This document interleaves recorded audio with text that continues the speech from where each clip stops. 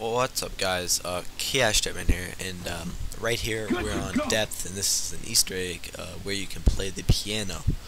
Um, all you have to do is, not this piano, this piano that's right next to it, but you gotta go to the, uh, pretty sure the locust spawn,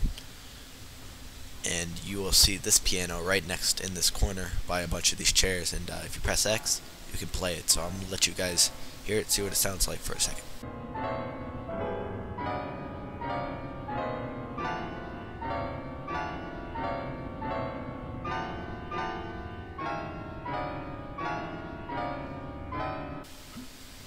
And that was it guys. So um,